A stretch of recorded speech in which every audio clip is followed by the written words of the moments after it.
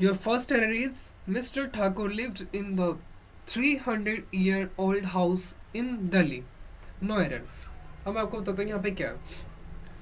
Mister Thakur lived in the three year अब यहाँ पे देखिए जो आपका ये द है, ठीक है? इसकी जगह पे आएगा क्या? इसकी जगह पे आएगा ए ठीक है? अब ये ए आएगा क्यों? तो मैं आपको बता देता हूँ। जैसे कहते हैं ना I lived in a room इस टाइप का जो आपका स्ट्रक्चर बनता है, ठीक है, मैं बता रहा हूँ आपको। उससे पहले हमें ए लगाना होता है। तो जो स्ट्रक्चर बनेगा, आपका क्या बनेगा? In a three hundred year old house in Delhi ठीक है? एक चीज़ मैं आपको एक्स्ट्रा यहाँ पे बता देता हूँ क्या?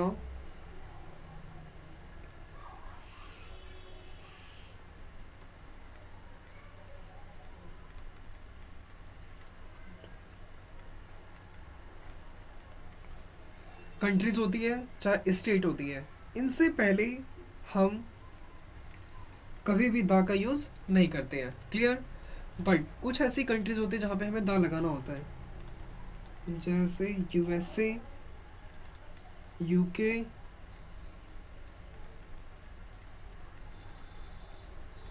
West Indies clear ऐसी और सारी मैं आपको बता दूँगा। क्लियर नेक्स्ट हमारा एरर है क्या? The English defeated French in the Battle of Waterloo. The English defeated French in the Battle of Waterloo. अब यहाँ पे देखिए क्या है। फ्रेंच से पहले यहाँ पे द आएगा। ठीक है मैं बताता हूँ आएगा क्यों। क्यों देखिए यहाँ पे क्या है।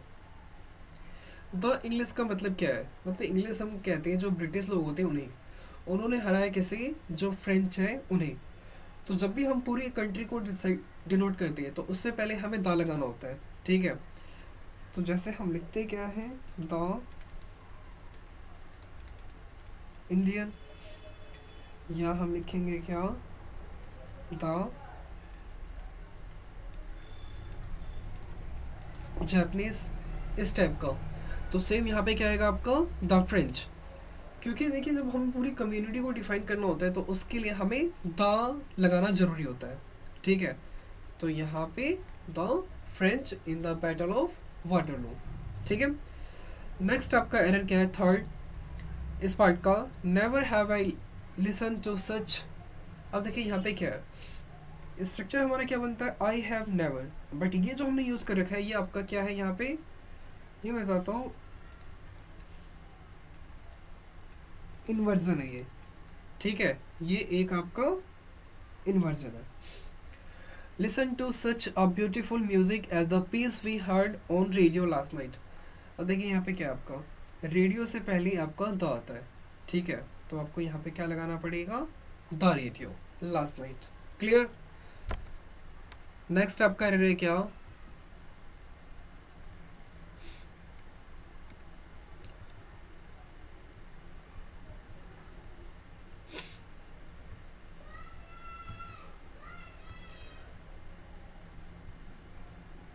नेक्स्ट आप कह रहे हैं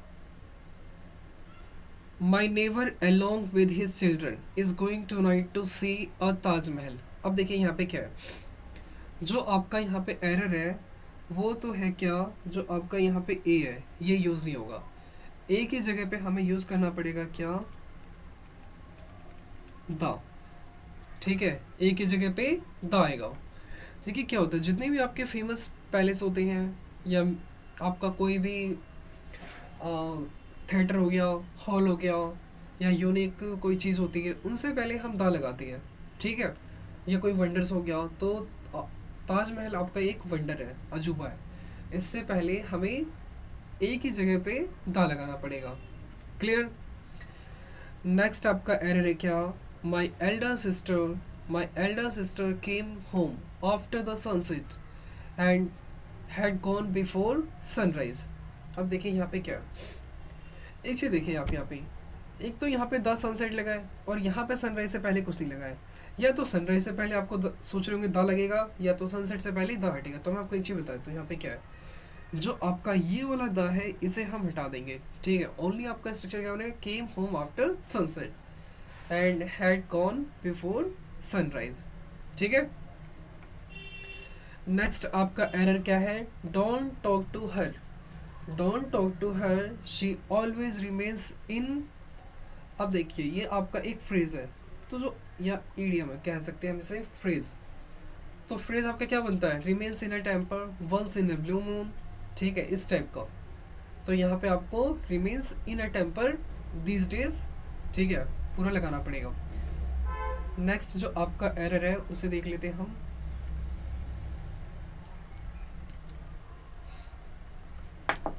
नेक्स्ट आपका एरे क्या हो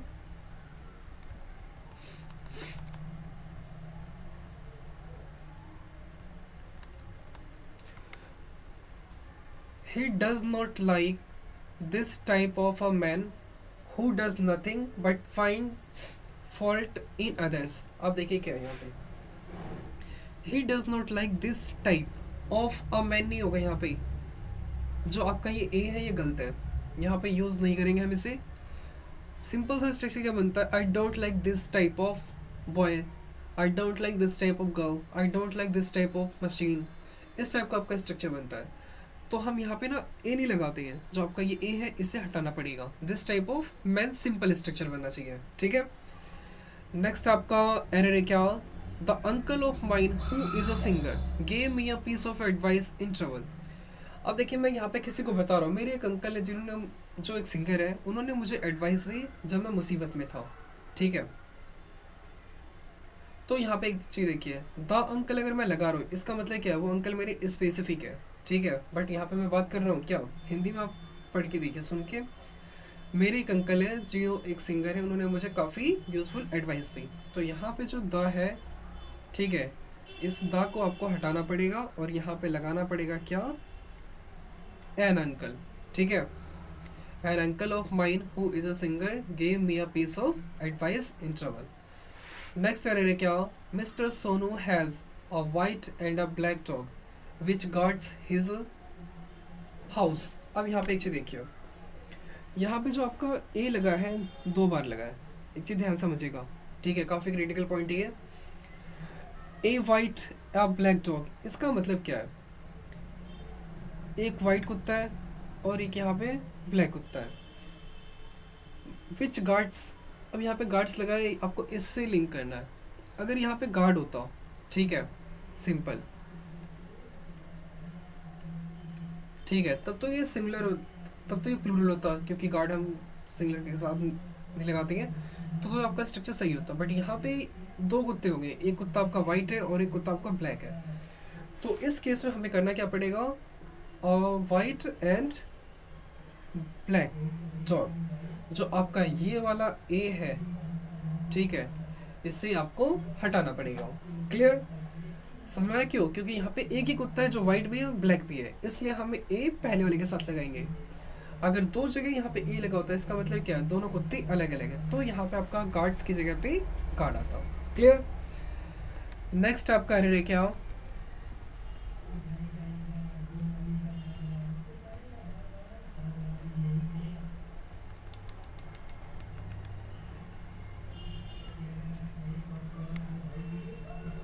Kabir and Rahim are great poets.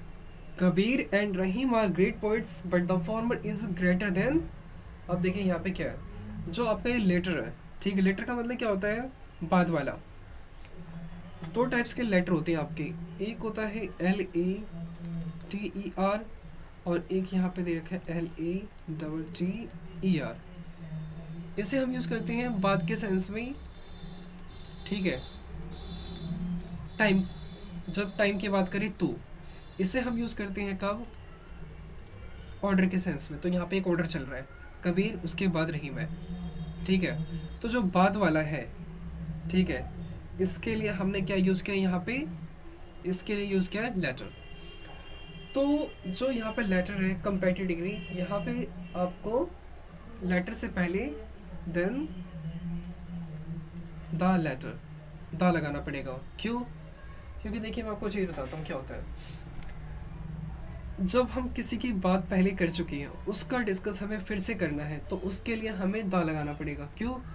क्योंकि अब वो चीज़ आइडेंटिफाइड है, वो स्पेसिफिक है, ठीक है? तो कोई भी आइडेंटिफाइड चीज़ होती है स्पेसिफिक होती है तो उससे हम दा वहाँ पे लगाना पड़ता है, ठीक है?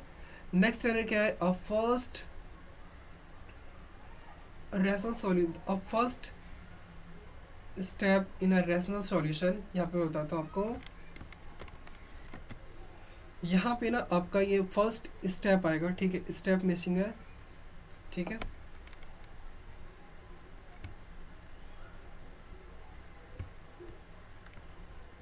और फ़र्स्ट यहाँ पे स्टेप लिख देता हूँ मैं स्टेप मिसिंग था। A first step in a rational solution to any problem is the recognition that a problem exists. मतलब ये कहना चाह रहा है कि फ़र्स्ट स्टेप किसी भी सॉल्यूशन को प्रॉब्लम को सॉल्व करने के लिए क्या होना चाहिए? कि पहले हमें ये जानना चाहिए कि प्रॉब्लम है क्या। तो अ फ़र्स्ट नहीं आएगा यहाँ पे। यहाँ पे आना चाहिए क्या? द फ़र्स्ट स्टेप क्योंकि जो हम स्टेप लेना चाहते हैं, वो एक आपका स्पेसिफिक या पर्टिकुलर स्टेप होगा। तो इसके लिए आपको यहाँ पे द लगाना पड़ेगा। क्लियर नेक्स्ट आपका एरर है क्या? Climbing the Mount Fiji in winter can be very dangerous climbing the Mount Fiji in winter may be very dangerous ठीक है? अब देखिए यहाँ पे क्या है? जो आपका ये दा लगा है, यहाँ पे हम दा का यूज़ नहीं करेंगे। अब मैं आपको एक चीज़ बताता हूँ, यहाँ पे क्या होता है? एक होता है आपका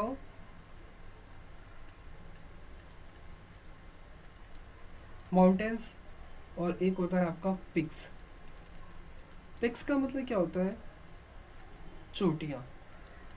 जो पहाड़ की चोटियाँ होती हैं, ठीक है, उनसे पहले हम दा यूज़ नहीं करते हैं। जो माउंट फिजी है ना, वो आपकी एक चोटी है पिक है। तो इसलिए यहाँ पे हमें द यूज़ नहीं करना है। कोई पहाड़ का नाम होता, जैसे मैंने बोला, कोई भी पहाड़ ले लीजिए आप।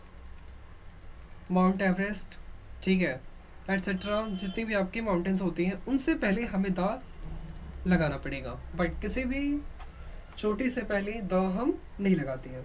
ठीक है? इस पार्ट में मैंने आपको टेन एरर्स कराई इसके बाद टेन एरर्स और रह रही है। जैसे मैंने बता रखा आपको, एक पार्ट एक टॉपिक के हम पचास से साठ एरर्स करेंगे। मैं आपको दस एरर्स और कराऊँगा इसकी। ठीक है?